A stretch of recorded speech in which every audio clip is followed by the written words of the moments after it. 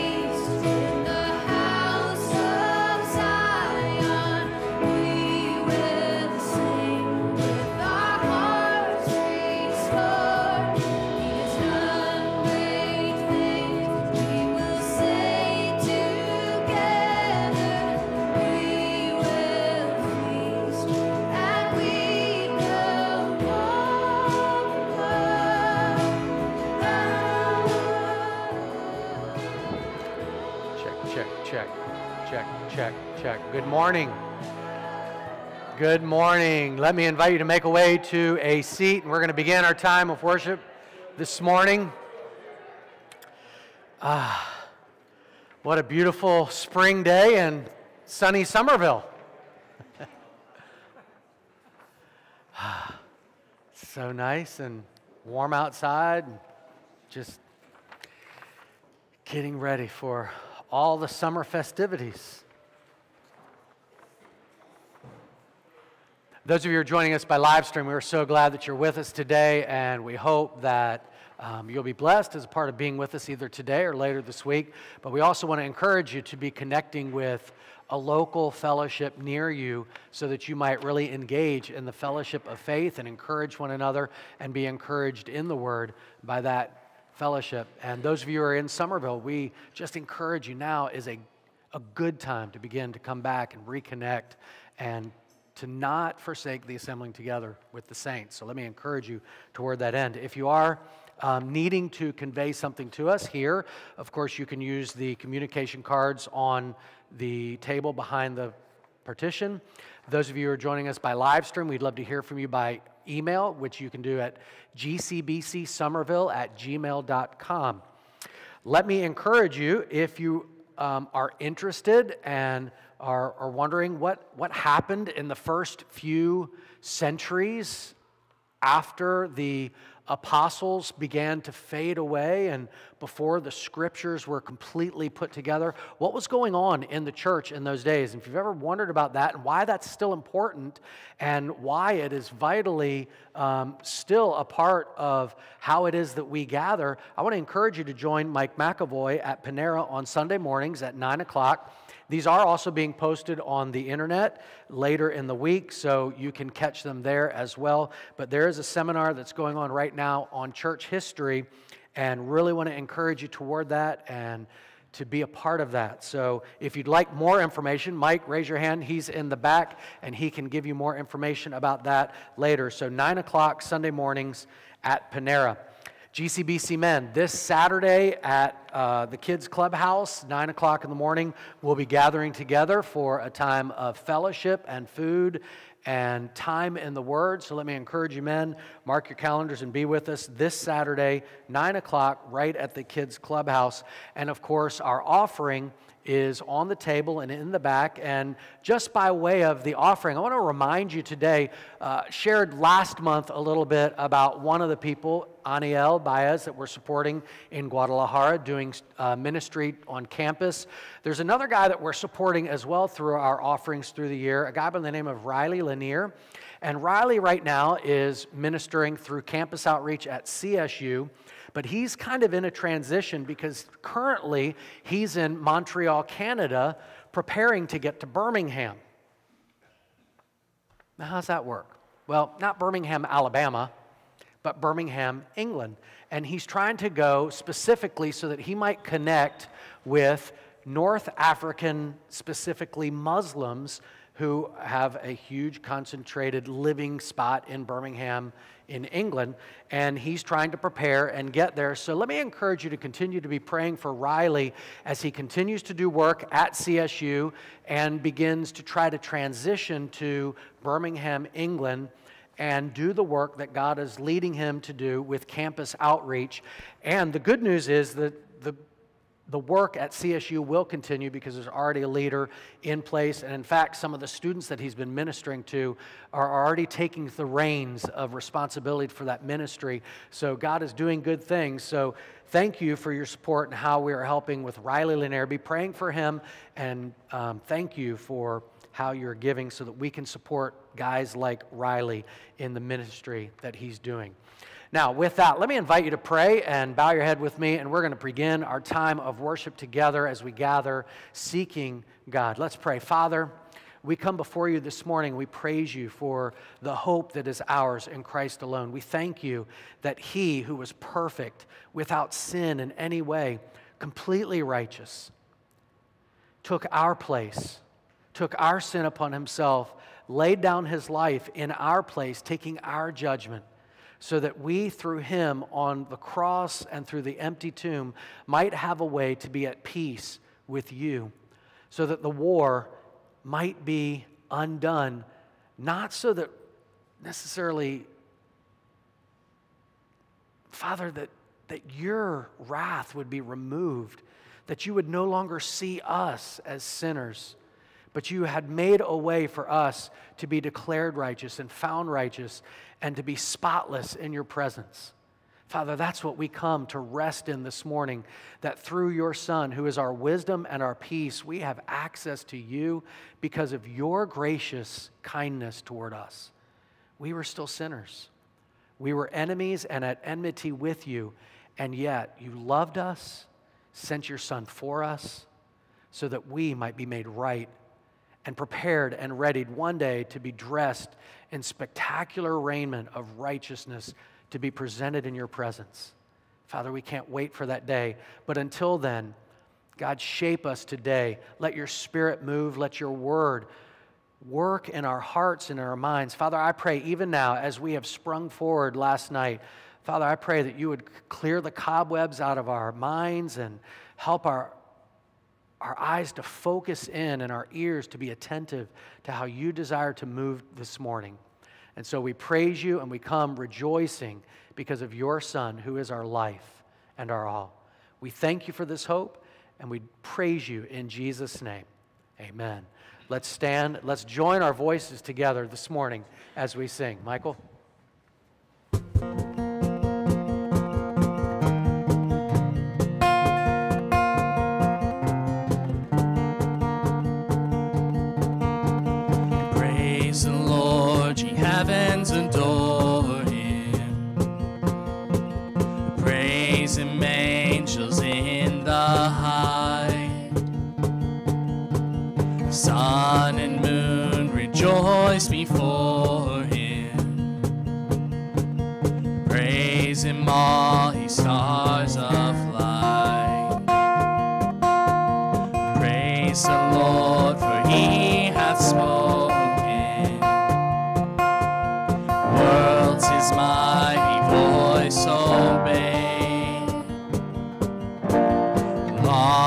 Never shall be broken.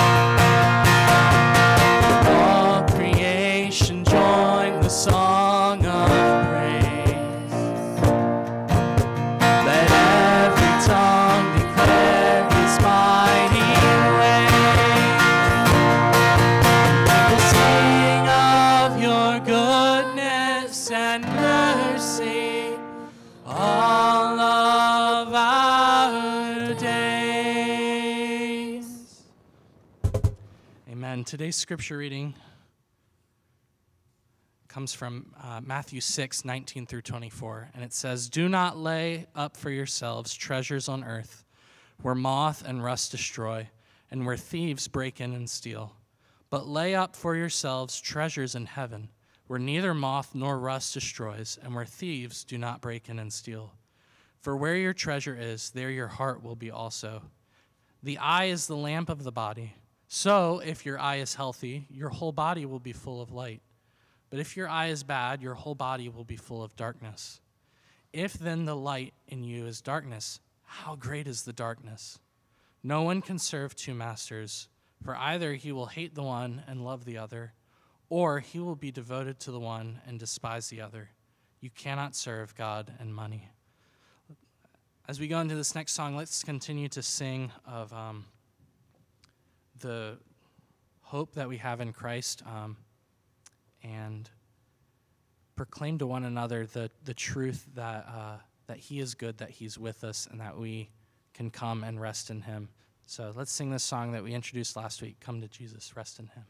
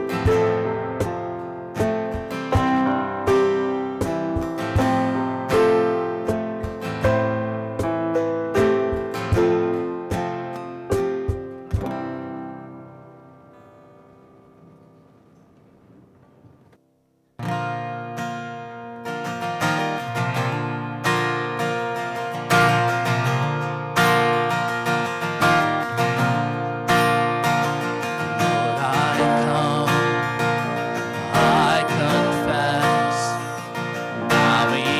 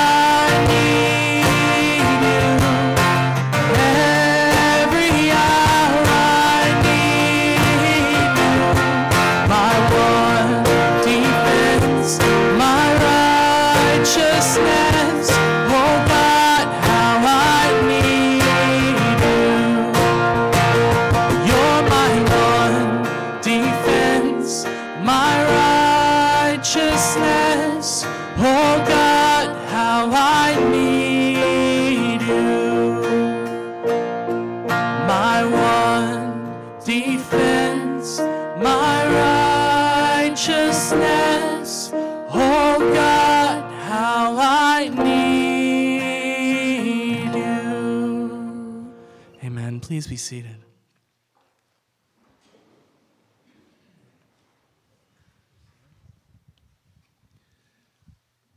Let's pray together. Lord, as we gather here this morning, we recognize that we need you. We need you for our salvation, for your grace and mercy in our lives. And we need you every day of our lives as we walk through life. Lord, we still we are yours as children of God, but we still struggle in the flesh. And every day we need you, and you are there for us. And you give us the strength that we need if we choose to take it. Thank you for being there. Thank you for the mercy that you show in our lives. You're the Father of mercies. Each day you bring a mercies to us, Lord, and we praise you for that.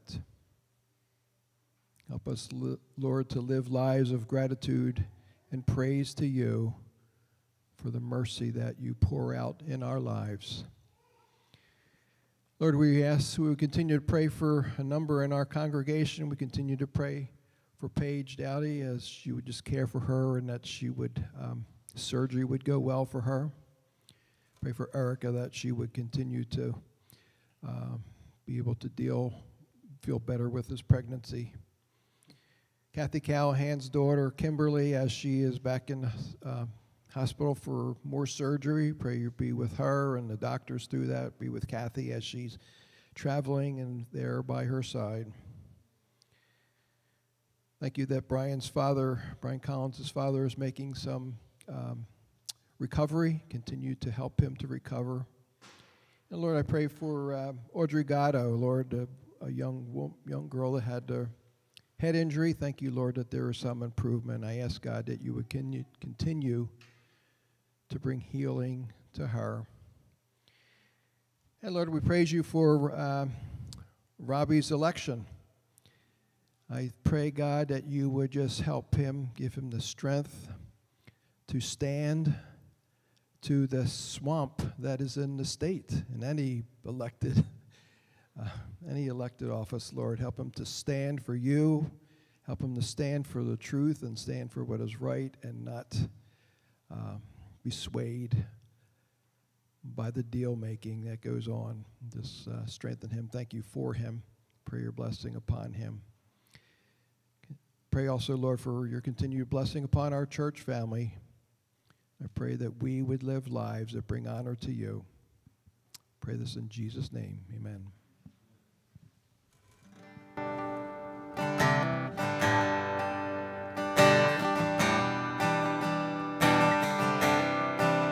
Rock of ages, clap for me. Let me hide myself in thee. Let the water and the blood from thy wounded side which flowed be of sin the double cure. Save from wrath and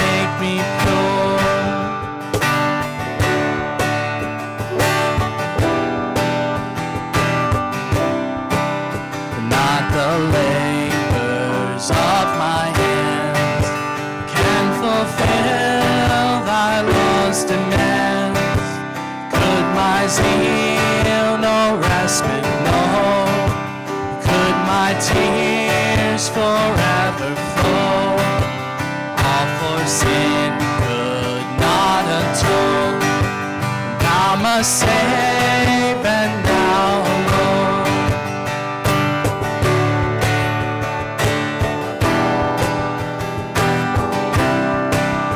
Nothing in my hand I bring, simply to thy cross I cling.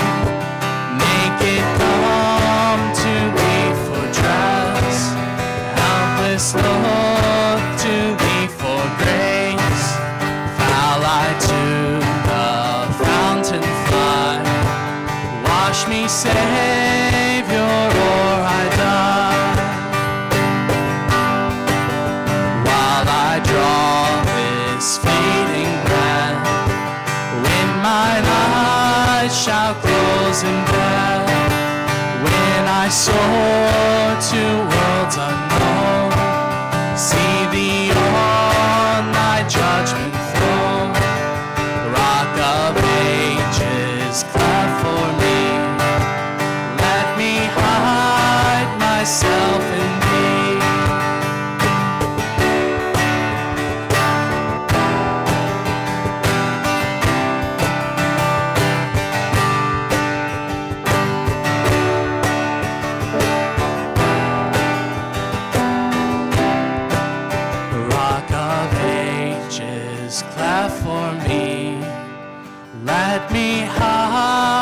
hide myself in thee. God, we thank you for this uh, time of singing today that we have been able to sing of the grace and the mercy that we have in you. Um, God, we thank you for rescuing us from our sins, for making a way that we might be able to have freedom in your name. God, move today uh, through the preaching and through the teaching of your word.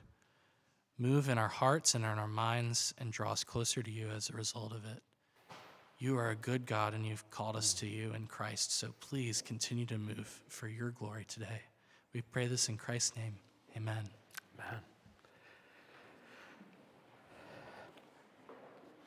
If you would, turn with me to James chapter 4 as we continue our walk through this incredibly relevant and good piece of God's Word, although all of God's Word is good.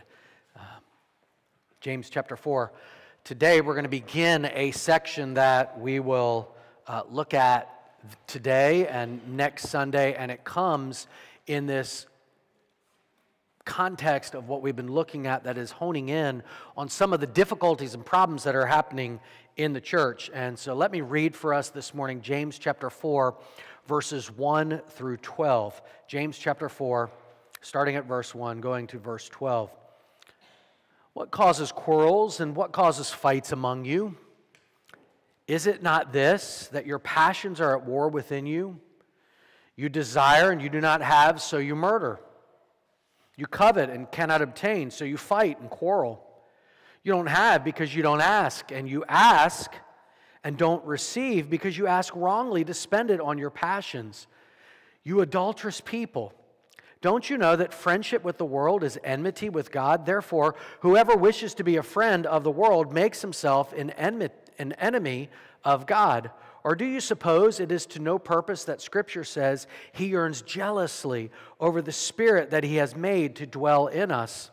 But he gives more grace. Therefore, it says, God opposes the proud but gives grace to the humble. Submit yourselves, therefore, to God. Resist the devil, and he will flee from you. Draw near to God. He will draw near to you. Cleanse your hands, you sinners, and purify your hearts, you double minded. Be wretched and mourn and weep. Let your laughter be turned to mourning and your joy to gloom. Humble yourselves before the Lord, and he will exalt you. Don't speak evil against one another, brothers. The one who speaks against a brother or judges his brother speaks evil against the law and judges the law. But if you judge the law, you're not a doer of the law, but a judge. There's only one lawgiver and judge, he who is able to save and to destroy. But who are you to judge your neighbor? This is the word of God. Amen, indeed. Well, my son, Michael, and his wife are spending some time with us as they try to prepare the home that they just recently bought to be ready and to, to go in. And if you'd like to help them, ask them. They would love your help. Uh, so would we. But no, we're enjoying this. And, one of the privileges of them being with us is not only our wonderful, delightful, smiling grandson with us, but they've also brought this other creature that they've named Thisbe. I call her Frisbee. It's this little um, schizophrenic cat, this bipolar cat, this cat that one minute is just lovely and delightful and is purring and is all love. And in the next second, she has turned from Mrs. Thisbe to Dr. Jekyll, I mean, just this creature of Satan that is swatting at you with with vicious claws and biting at you at every turn and is just running and all over the house.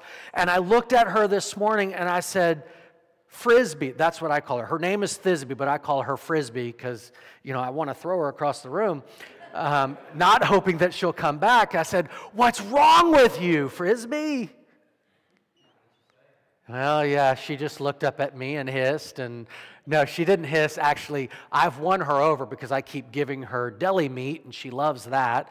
And so uh, she is a little bit softer to me. But when I said, What's wrong with you? it hit me. There's nothing wrong with her. She's a cat. That's what cats do, right? Fickle, yeah. Um, but that's what cats do. That's what they are. That's how God created them.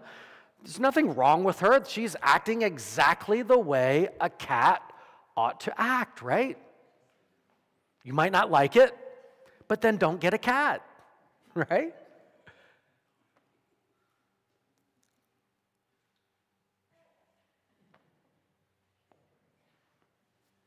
Why do churches fight? What's wrong with them? What's going on? Why is there conflict in fellowships? Perhaps it's because people are acting exactly the way that their hearts are bent and inclined to act. And perhaps it's because that in the church, if Billy Graham is correct, there is a fertile mission field because you will find in any given fellowship a collection of redeemed and sinners. It shouldn't be that way. The church should not be that. But perhaps when conflict arises, it is because sinners who are not redeemed and not saved are in the midst and in the camp.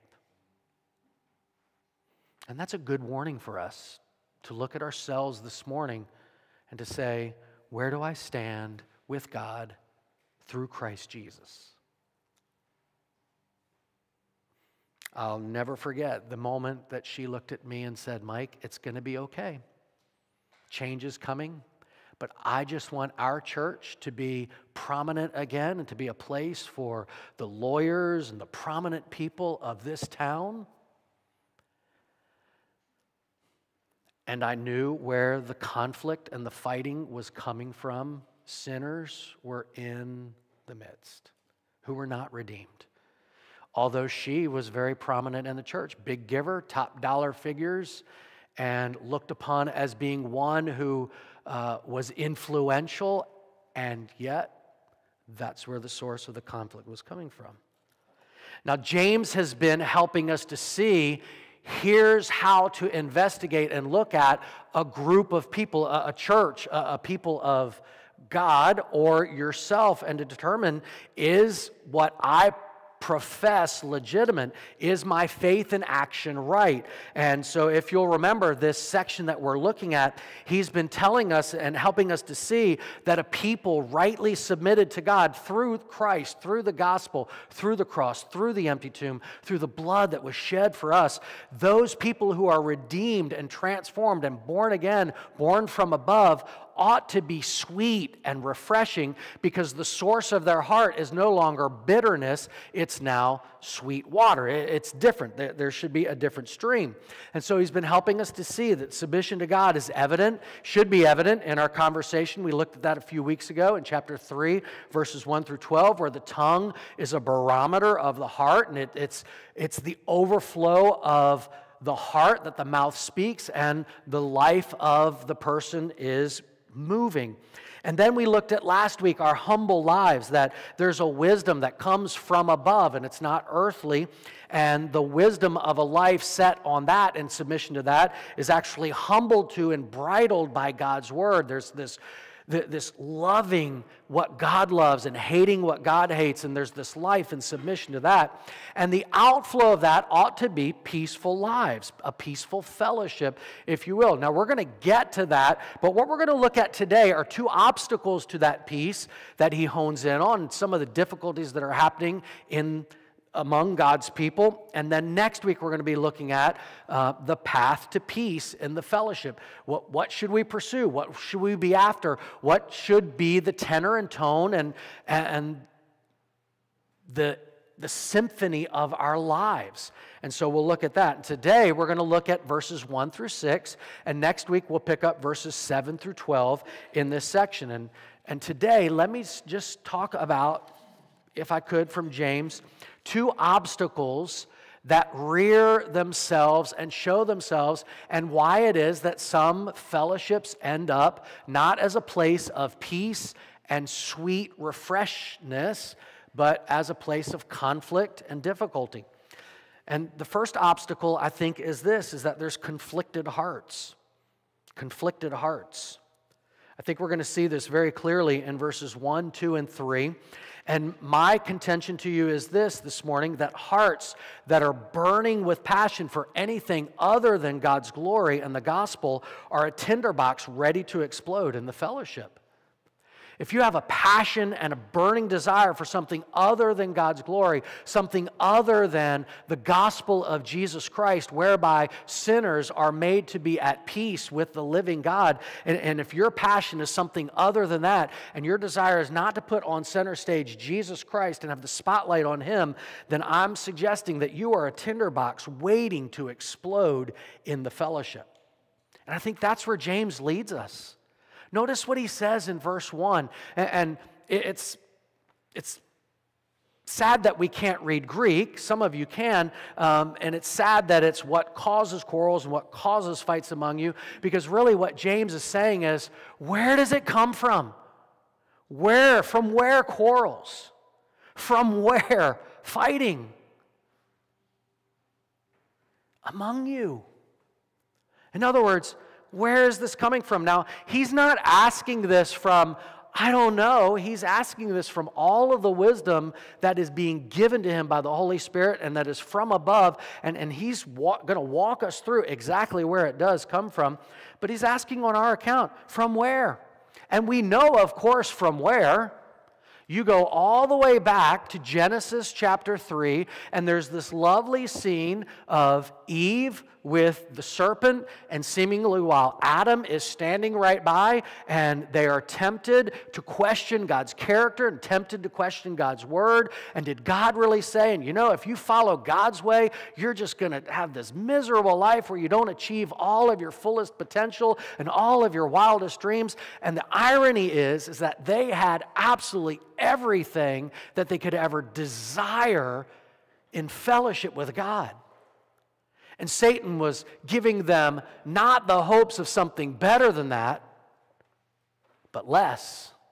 And in that instant, she saw that the fruit was good, not only and pleasing to, to look at and to, to have, but to eat. And in rebellion, she ate of it and she handed it to her man who was there, and God came in and they fled.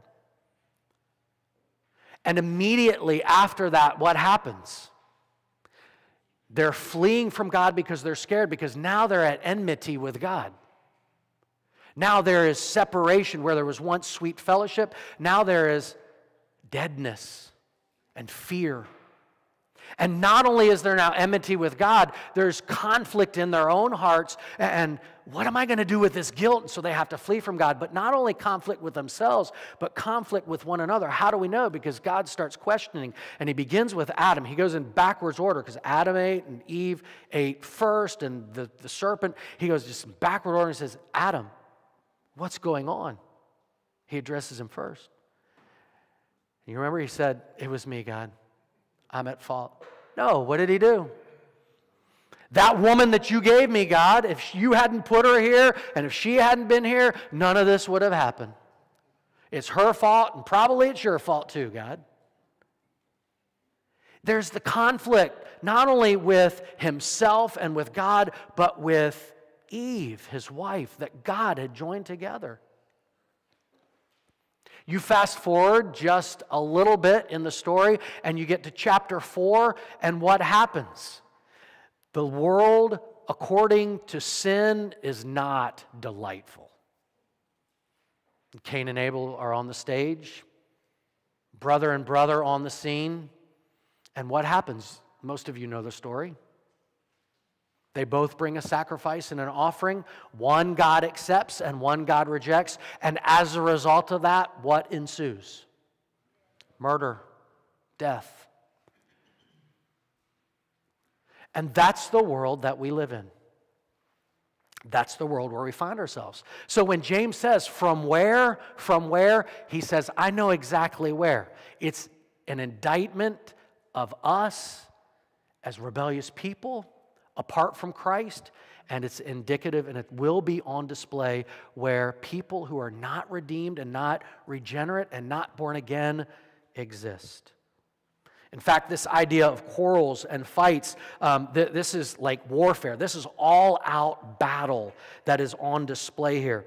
And it shouldn't be in the assembly of saints. And yet, here it is. It's this national warfare that has had come to mean any kind of antagonism. In other words, this, these fightings are happening because there's some desire and there's some want, and there's some passion that's not being met or is an obstacle to. And so there's battles and fighting. And notice he says, from where quarrels and from where fights where, where, are they coming from among you that's not just um, an individualized american reading that if you'll just look in your own personal hearts this is among you within the gathering because the, the word here is plural in your midst where are these quarrels and these fightings coming from not just individually in your hearts but among you as the corporate reality and expression of the body of Christ. Where is this coming from? And he says this Isn't it this? Expecting that you will heartily say, Yes, that's exactly it, whether it indicts you or not. But he says, Isn't it this that your passions are at war within you? That word passions means your desires. It's, it's actually the word from which we get hedonism. Isn't it this that your pleasures and your sensual lusts that you're desiring are at war among you? In other words, your chief goal is your own self oriented interest and not the glory of God. And when that happens, and when your pleasure is either blocked or somebody else is getting what you're hoping to get, guess what happens? Battles. In fact, notice what he says in verse 2 You desire, and you don't have. Now, I'm going to take that so you murder to the next section, but uh, this, this first phrase, he says, you desire, you, you want something. Now, in the context, I think he specifically, not many of you should become and have this desire to be what? Teachers, to be seen as wise and, and knowledgeable and, and stand up and give directions to the church. You shouldn't desire that. And you're desiring it and you're not getting it and you don't have it. In fact, this word for desire is it's, it's eagerly, eagerly seeking after something that you're not getting. And because you don't have it, then he goes on, he says, murder ensues. You covet, so you murder, you covet, and you cannot obtain. In other words, you, you murder and you burn with envy because either what you're hoping to get, somebody else is getting, or what you're hoping to get, nobody will give it to you, or you're being blocked from getting it, and you're not able to obtain it. Now, I don't know that the authorities of that day were actually investigating murders in the church. I think what he's doing here is he's linking up for us something exactly like Jesus did for us. Although I want us to see this, turn over to 1 John real quick, chapter 3, verse 15, and notice what 1 John says. Just because I think he's building a case for these people to really hone in and say, here's who you really are. He's already done this. The spring, remember, uh, a bitter spring cannot produce sweet water. We saw that last uh, two weeks ago, right? So he's saying, look, the, the spring is deficient if this is the outflow and this is the output of your life. And notice what um, 1 John 3 15 says Everyone who hates his brother is a what? Is a what? A murderer. That doesn't mean that you've actually physically murdered them. It means if you have this kind of enmity in your heart toward your brother, that's where murder comes from. And you know this. What's it say? No murderer has what? Has what? Eternal life where? Abiding in Him. That's a pretty strong indictment, isn't it?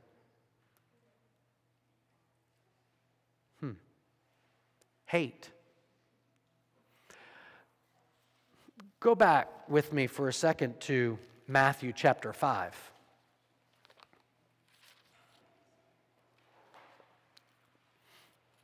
Listen to what Jesus says.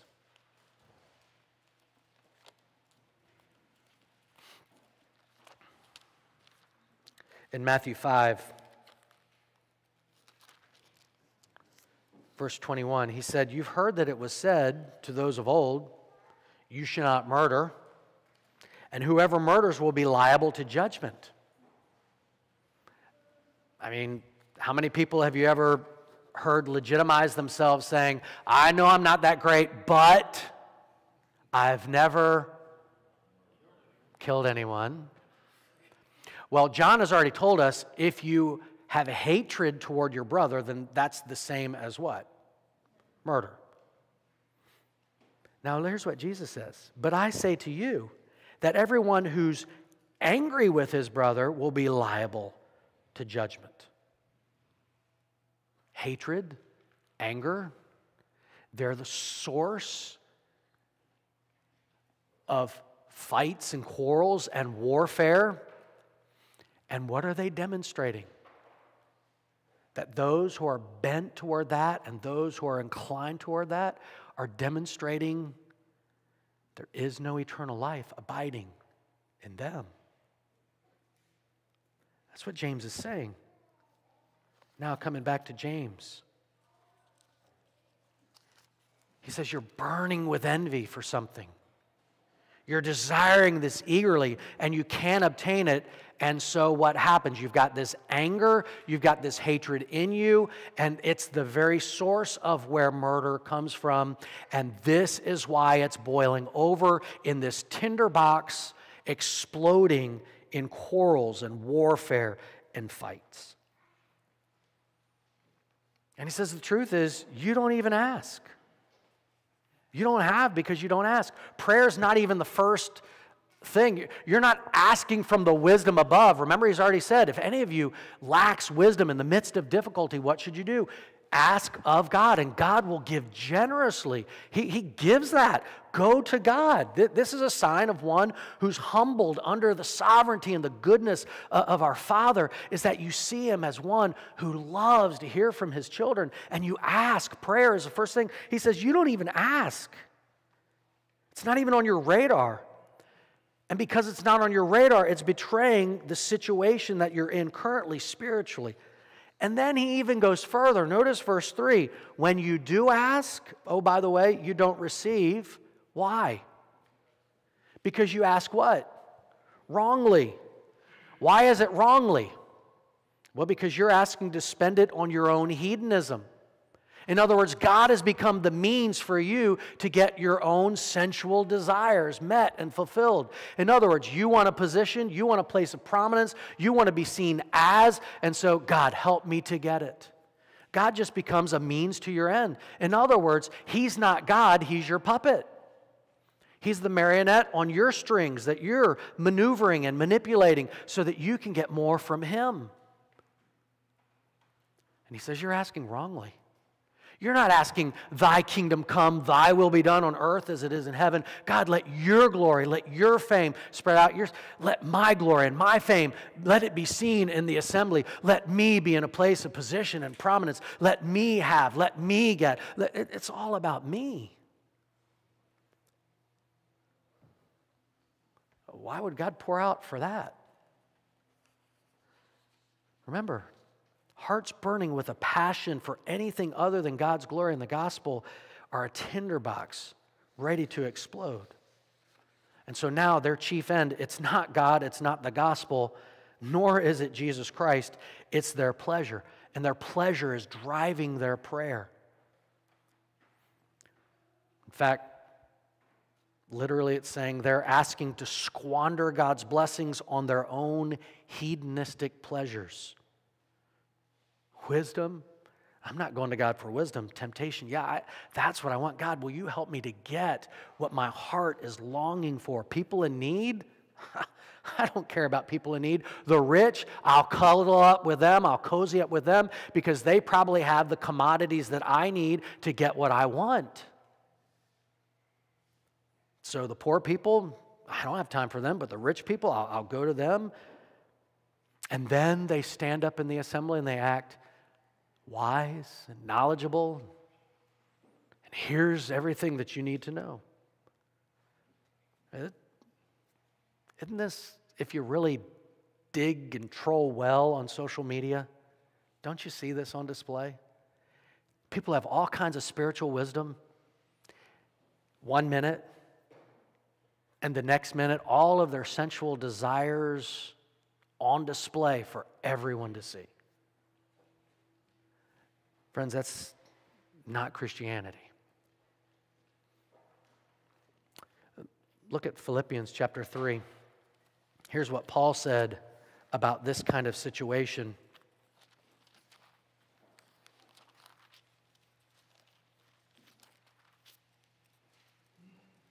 Now, keep a, keep a mark here because we're going to come back to Philippians chapter 3 in just a second. But notice what he says here at verse 19. Their end is what? Destruction. Their God is their belly. In other words, their lusts, their desires, their passions, their pleasures is what's driving them, and they're serving those things. They glory, in other words, they put on display and they tout the glory that is their shame with mind set on what? Earthly things. I think this is what James is saying. That when your mind is on earthly things and, and, you're about the hedonisms and the desires and the passions and the pleasures, and that's the passion, that's the glory of what you're about, and how can I get in and how can I wiggle in and make myself known and, and get more? You are a prescription for disaster in the church, and you can be sure that quarrels and fights are ready to happen. It's just inevitable. Now, while this is the case, these conflicted hearts, this is a good warning for us today. Because notice next, the next obstacle is what I'm going to call fatal friendships, or fatal friendship, rather.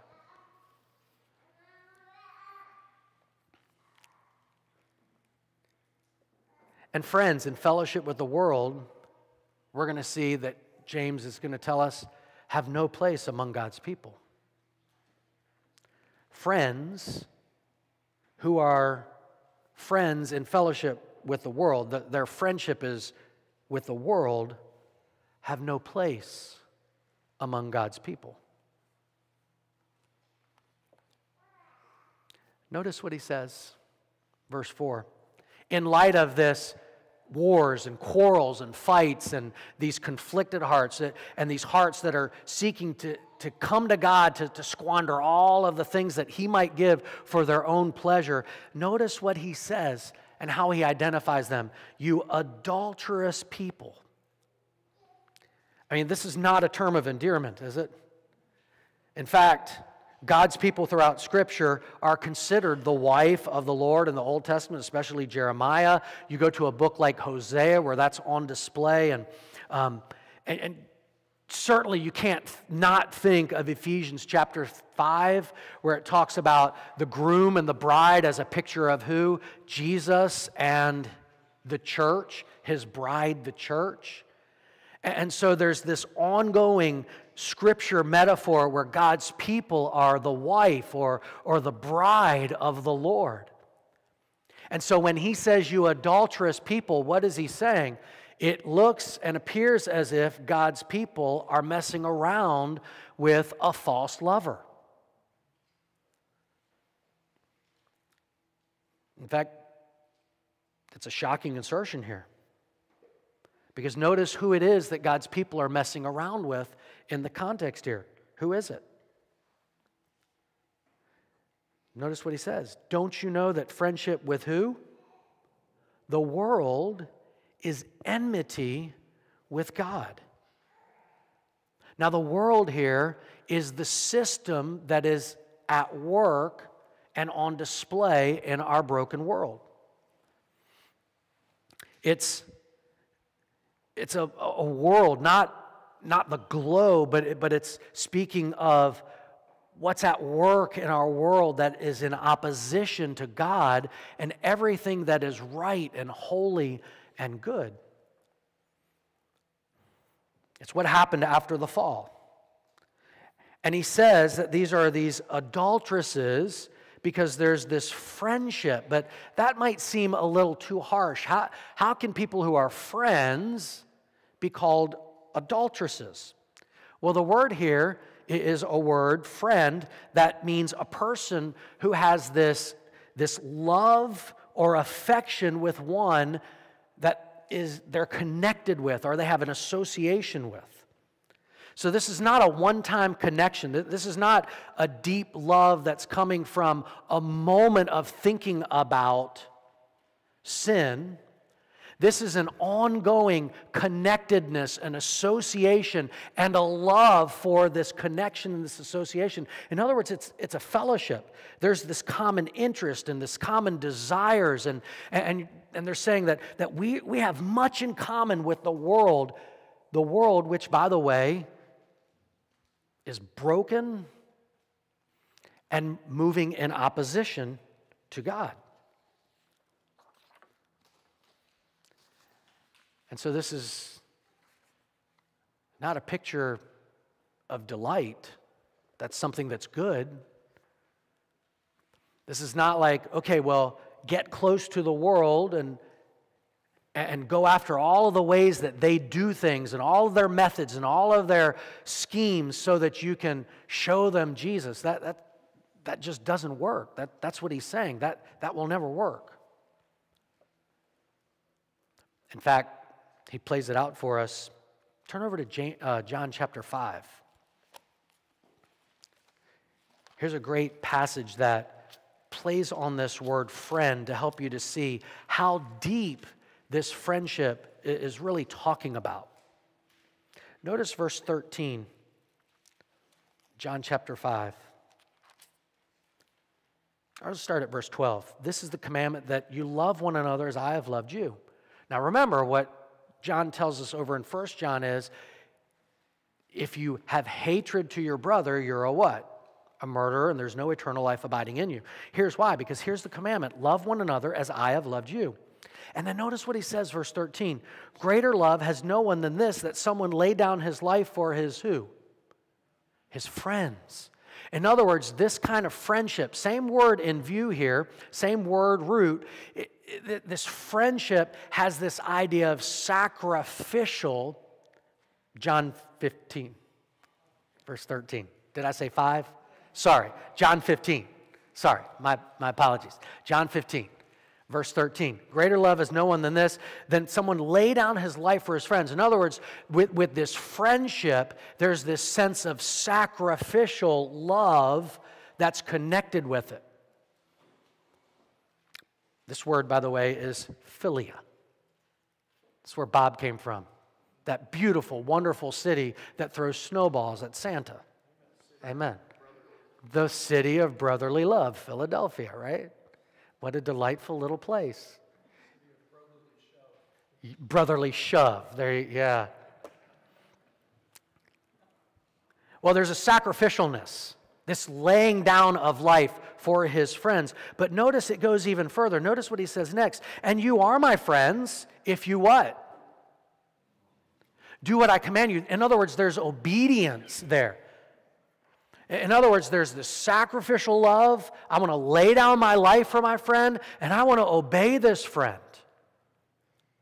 But not only that, notice verse 15 no longer do I call you servants, for the servant doesn't know what his master is doing. You're not servants anymore. Now you're my friends. And here's why you're my friends because all that I have heard from my Father, I've made known to you. In other words, there's this intimate knowledge. Now, Take this. Now, this is what Jesus is saying it should look like in the church as we're friends with Christ and loving Christ. We ought to have this sacrificialness for the gospel and Christ and the brothers. And there ought to be this obedience to Jesus. And there ought to be this inside intimacy and this knowledge and this wisdom that we say, oh, you know what? Here's what you need. You need a word from Jesus Christ, not from me, but from Him. And He says, look, don't you know, you adulteresses, that to be friends with the world, in other words, you're laying down your life for the world. I'm going to defend the way the world works. I, am going to defend to the end who the world is and what they're about. And I'm going to be obedient to it. If the world says this, I just lock, walk in lockstep and barrel with what the world says. And, and when they say this about LGBTQ, well, that's what I say too because I love the world and I'm laying down my life for the world. And because I've got this intimate inside knowledge, because I'm so close, I know exactly the way the mechanisms of the world think. To be that kind of friend with the world cannot be that kind of friend with Jesus simultaneously, and it places you at odds, and not just at odds, at enmity with God. In other words, you're his enemy. In other words, you're walking in darkness, and the truth is not in you.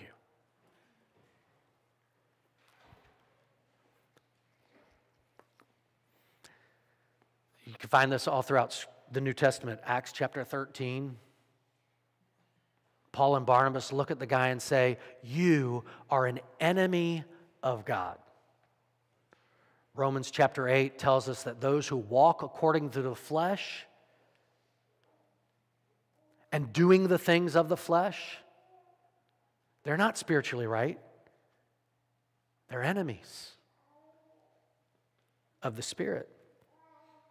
In Colossians 1, Paul says, Those who are enemies of the cross in this way, fulfilling and satisfying all of their pleasures and all of their desires, they're enemies of righteousness and the cross needing reconciliation.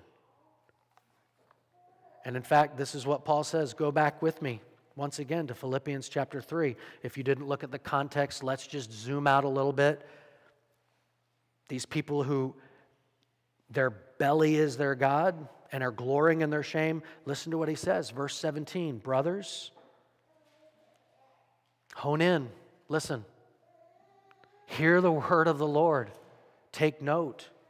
Brothers, join in imitating me and keep your eyes on those who walk according to the example you have in us. In other words, we walked, we heard, we learned from Christ. He moved us from servants to friends. We've heard from Him. Listen, here's the truth. Here is the love of God on display for us. Walk in this. Why? Verse 18. For many of whom I have often told you, and now tell you even with tears, walk as what? There it is. As what? Enemies of the cross of Christ. How do they display that they're enemies? Their end is destruction. Their God is their belly. They glory in their shame, with minds set on what? Earthly things. They're all about now. They have no heavenly usefulness because their desire is my kingdom come, my will be done for me right now so that I can get what's mine. But God's people should be different. Our citizenship is where? In heaven. And from it we await a what? A Savior, the Lord Jesus Christ, who will transform our lowly body to be like His glorious body by the power that enables Him even to subject all things to Himself. You know what that subject all things points over to another passage where Paul says that the Lord will put all of His enemies underfoot. Friends, if this is you, by the authority of God's word, I say today, repent. Believe in Jesus Christ. Find life in Him. Find redemption out of this. Find a way by which you can move from being an enemy of righteousness and an enemy of the cross and find life in the one who is the Prince of Peace and our wisdom and our righteousness and our life before God. Seek Him, look to Him, pray this prayer God, have mercy on me, a sinner, or God, help me in my unbelief. God, rescue me from where I am because I find myself today your enemy and not right before you. And if I stay among the fellowship, what's likely to happen is a tinderbox of explosiveness because my glory is not you and it's not the cross and it's not Christ, it's me.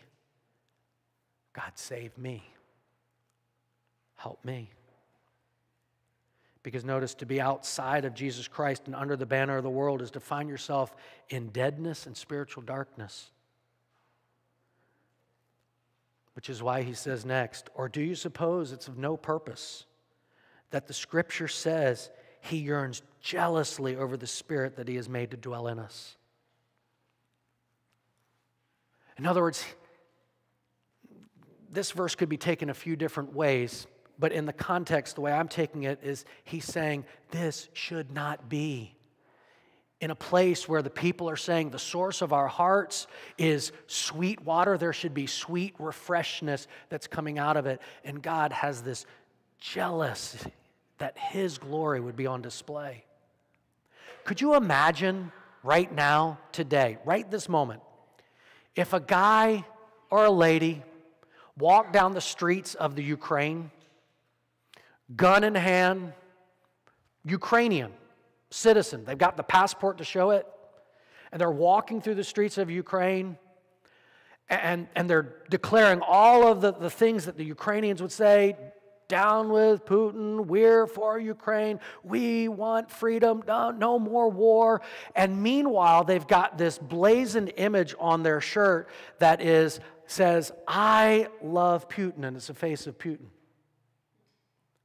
And they've got this money that's coming in every day from the Kremlin, just pouring in money.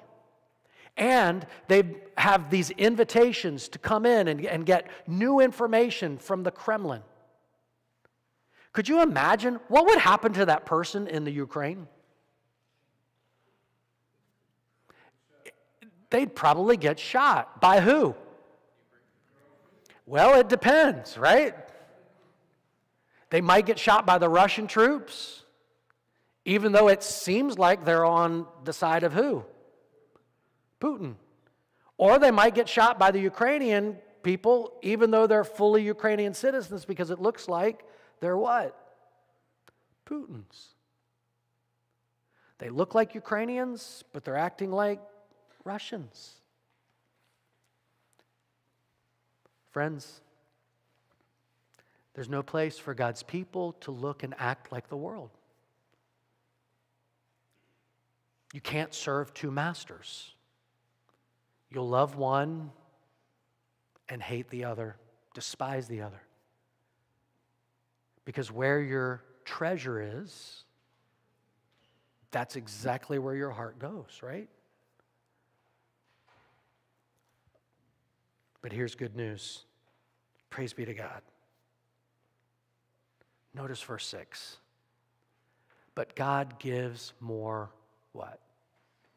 Grace. Look, Putin has no place for traitors. His enemies, he annihilates them. The truth is, the Ukrainians have no place for their enemies. They're seeking to kill them. But you know what God does for his enemies?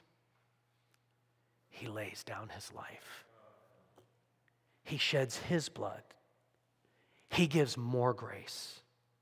He makes it such that while we were yet sinners and his enemies, he lays down his life for us. That's the kind of God I want to worship and serve. You know why? Because I had never deserved it. I had never could earn it, and I shouldn't have been. And yet, He did it because of the very great love with which He loved us.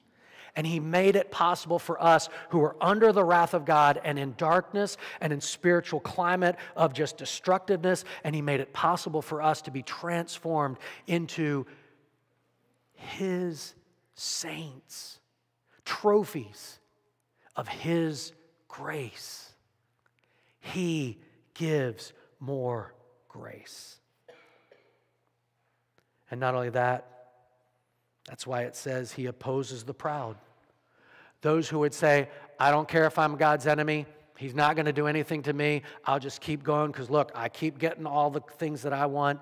Those who are proud, you can be sure He will oppose. But those who are humbled, what does it say? He'll what? He gives grace to the humble. He gives grace and salvation. And not only that, you know what else He does? He gives grace for those who are struggling with temptation and struggling in difficulty, and those who are oppressed, and those who find themselves weak. He gives grace. He makes it possible for us to rest in His goodness and His righteousness and His love. What an amazing God, amen? Now, make no mistake, one day there will be a time of judgment that will come for those who proudly oppose God. But for those who will humble themselves today, you know what you will find? Rest. And you'll find streams of living water that satisfy, and life and peace in Christ. Find it. Rest there. And when we are resting there, you know what will happen as His people? Well, that's next week. Come back and we'll see what it will look like and what it should look like for those who are resting in the peace of this God. But today, seek Christ.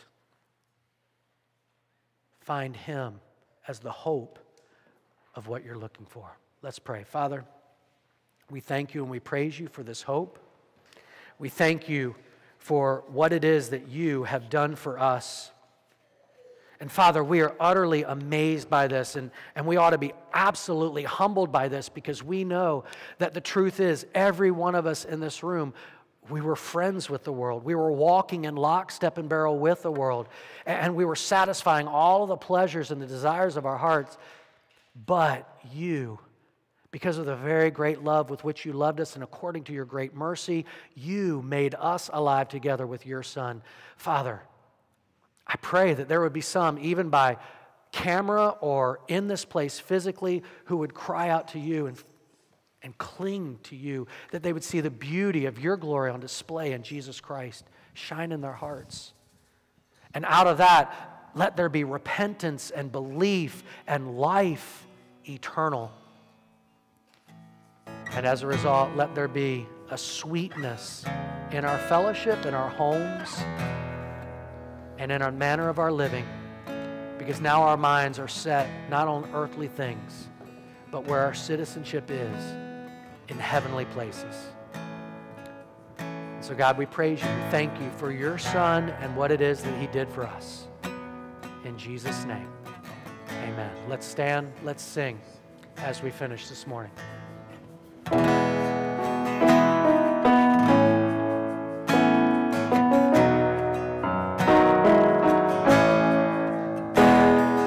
There is no song we could sing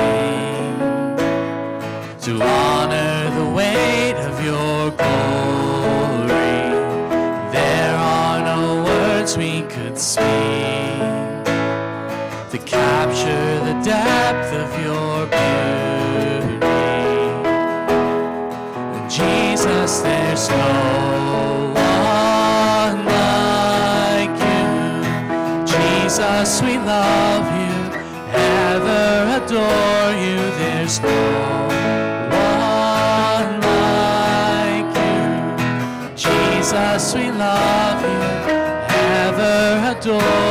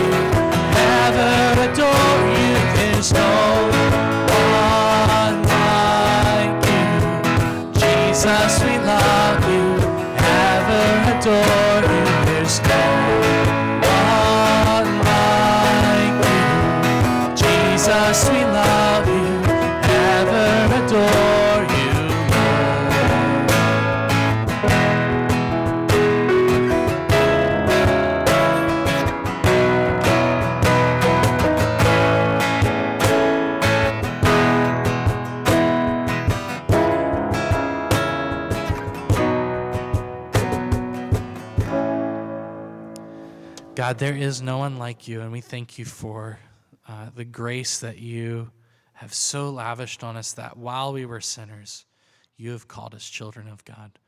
We ask that you would continue to do a work in our hearts this week. Help us to live for you, um, to keep our eyes fixed on you, the author and the perfecter of our faith. Help us to rest knowing that you are good and that you're with us. And help us to be uh, emboldened to take that truth to our neighbors and to our coworkers, the people we come into contact with. Um, you're such a good God, and we thank you for that.